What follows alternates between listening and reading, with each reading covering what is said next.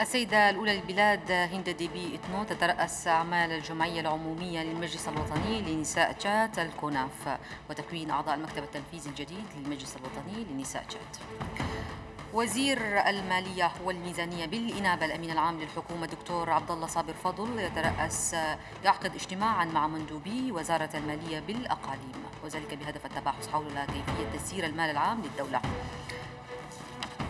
مجموعة من عرض مجموعة من الصور الفوتوغرافية تجسد أعمال التي تقوم بها المرأة التشادية. هذا هو مضمون الكتاب الذي عرض بحضور السيدة الأولى للبلاد هند ديبي إتنو ووزيرة المرأة والشؤون الاجتماعية.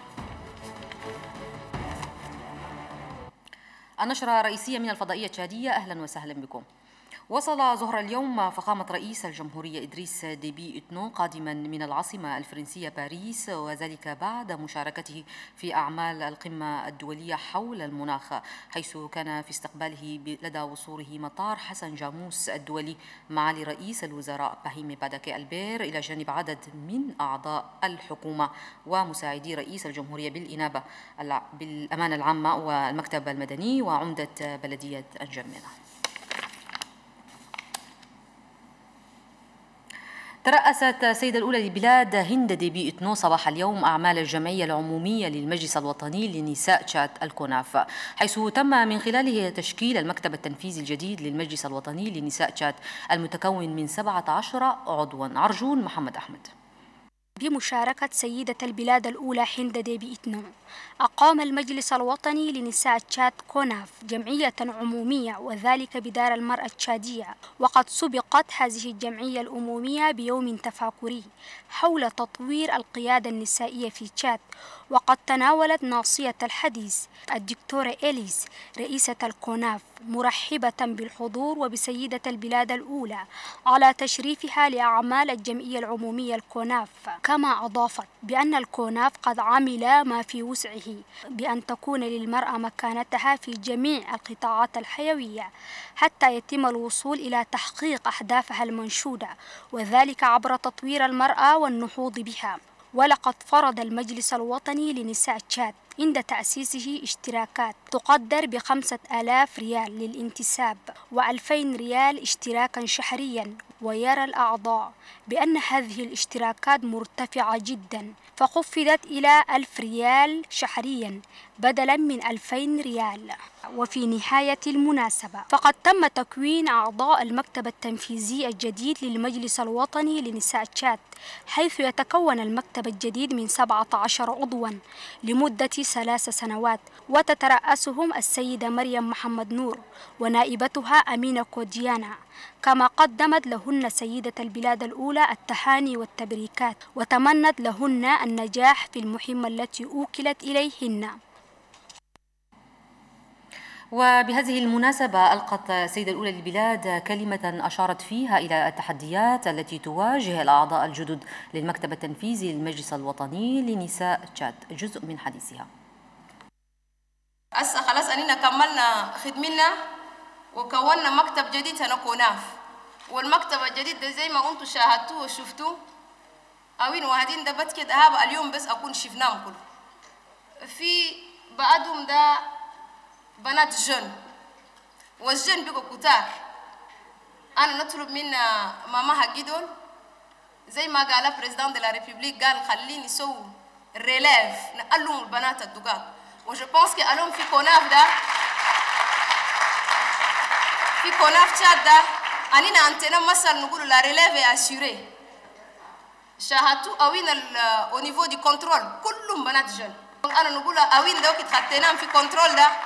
هم بيجوا بكنترولي أمهاتهم شغل السوا شنو ونعلمهم لأن كوناف ده ما إلا أوين كبار.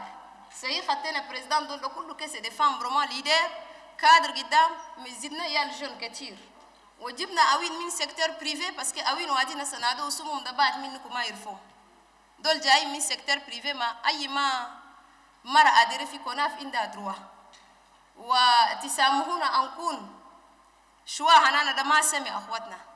لكن يوم آخر نخلو لكم لاتيتيود بس كشغل كان صخيرك ذهب صخير ما تقدر تلقى في إيدين أي نادو بعد من ده بعدين نجو ندوسو في فوت. والأوين نرشوهم نشولهم إن شاء الله. وكوناف ده مصر كيف بمشي قدام.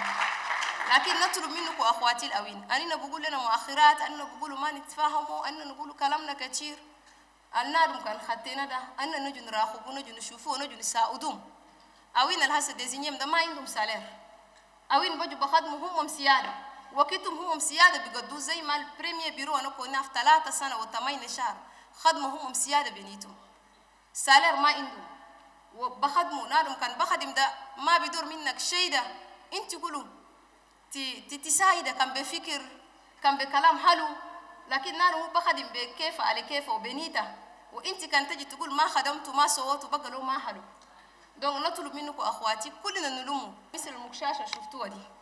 ومكشاشة أنا ملوخية ده هو قوي ما بيكسر عجلة. واننا فدناها اليوم أنا الملوخية كله عشان المرة كان نقول تكسرها ما بتنكسر. وبعد تنصيب السيدة مريم محمد نور رئيسة للمكتب التنفيذي الجديد للمجلس الوطني لنساء تشاد عبرت عن شعورها وانطباعها حول هذه المهمة. جزء من هذه الكلمة. أنا ما أنا عارفة نقول لكم شنو. يعني فاجأتوني وصفتوا تعطوني تقدير كبير. وإن شاء الله ربنا يساعدنا كلنا جميعاً. الخدمة اللي ترجعنا خدمة كبيرة. ونشكر جزيل الشكر للبيرو الأولاني المرق ده. خدم خدمة كبيرة. وعنينا هسه نعمل جهودنا. الأكل خدمة هم خدموها ده. عنينا نفالوريزيها ونزودوها قدام عشان تتطور. أمس وصفونا الليدرشيب أنا الأوين ده عندنا ريتار كتير فوقها بدور خدمة كتيرة وإن شاء الله ربنا يساعدنا ونكون مثل مكشاشتنا دي. كلنا لمينا سوا ده نقدر نشيل الرجال كلنا نرفعهم. وإن شاء الله أنا لكم أنتم كلكم كي نطلب منكم كلكم تساعدونا. والله ينجينا إن شاء الله. بحضور السيدة الأولى للبلاد تم عرض الكتاب الذي يحمل مجموعة متنوعة من الصور الفوتوغرافية لأعمال المرأة التشادية تجسد من خلالها واقع وقضايا التي تواجه المرأة التشادية. وسط حضور عدد كبير من المدعوين إلى جانب وزيرة المرأة والشؤون الاجتماعية. عباس أبكر والمزيد عن هذا الكتاب. الساحة الأدبية تعمر عبر تأليف الكتب الأدبية والعلمية. ومشاركة العنصر النسائي في تأليف الكتب.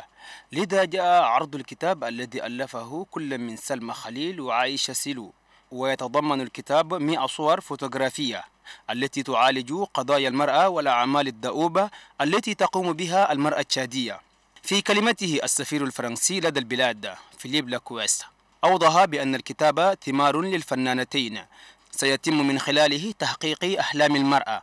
وأكد بأن السفارة ستقدم لهم دعما وكذا الوقوف بجانبهن من أجل النهوض بمجال الثقافة الأدبية التشادية.